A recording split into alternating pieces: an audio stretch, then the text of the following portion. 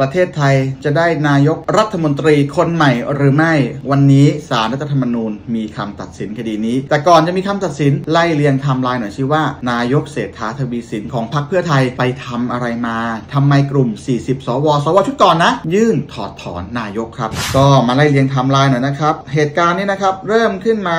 ตั้งแต่ 28 เมษายนนะครับ 28 เมษายนนะนายกเศรษฐาทวีสิน เสนอชื่อนายพิชิตชื่นบาน เป็นรัฐมนตรีประจำสำนักนายกอ่าเพราะว่าคุณพิชิตชื่นบานเนี่ยเป็นต้นตอที่ทำให้เกิดการยื่นต่อศาลรัฐธรรมนูญในครั้งนี้ 28 เมษานนายกเศรษฐาแต่งตั้งเขาเป็นรัฐมนตรี ต่อมา 29 นายวัชระเพชรทอง อดีตสสประชาธิปัตย์เข้าร้องเรียนต่อปปชกรณีที่นายกเศรษฐาแต่งตั้ง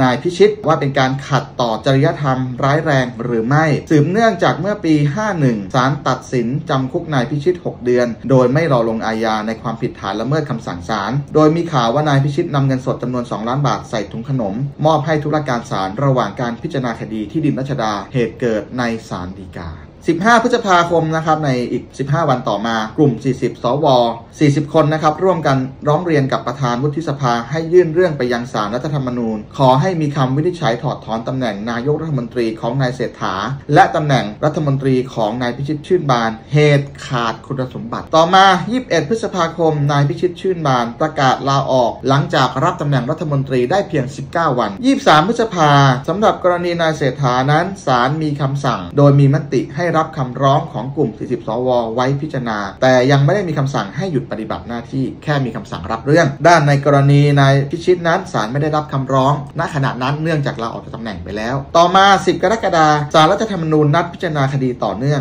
24 กรกฎาคมก็อยู่ระหว่างการแถลงด้วยวาจาของสารรัฐธรรมนูญ 14 สิงหาที่ผ่านมา สารรัฐธรรมนูญนัดอ่านคำพิพากษาคดีถอดถอนนายกเศรษฐาตอนช่วงบ่าย3โมง โดยสำนักข่าวหลายสำนักข่าวรายงานว่านายกเศรษฐาจะไม่ได้เดินทางมาฟังด้วยตัวเอง แต่จะส่งตัวแทนที่เป็นเลขาธิการนายกรัฐมนตรีไปรับฟังแทนว่าจะมีการ ถอดถอนหรือไม่ถอดถอนอย่างไรบ้าง ความเห็นทางกฎหมายก็จะแบ่งออกเป็น 2 กลุ่ม กลุ่มที่เห็นไปในทางของรัฐบาลก็คือนายกเศรษฐานั้นได้มีความผิด เนื่องจากว่ากระบวนการแต่งตั้งทุกอย่างมาจากหน่วยงานราชการเสนอเสนอขึ้นมา แล้วไม่มีใครแย้งเพราะมีการถามกฤษฎีกาก่อนแล้ว ส่วนกลุ่มที่บอกว่านายกเศรษฐาขาดคุณสมบัตินั้น ก็มาจากการตรวจสอบคุณสมบัติของรายชื่อรัฐมนตรีไม่รอบคอบ ถือว่าผิดต่อจริยธรรม ตามกฎหมายจริยธรรม นักการเมืองของปปชอย่างร้ายแรง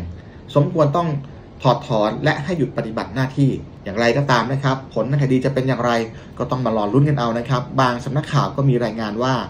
2 ต่อ 7 ก็ไม่รู้ว่า 2 ต่อ 7 หมายถึงอะไร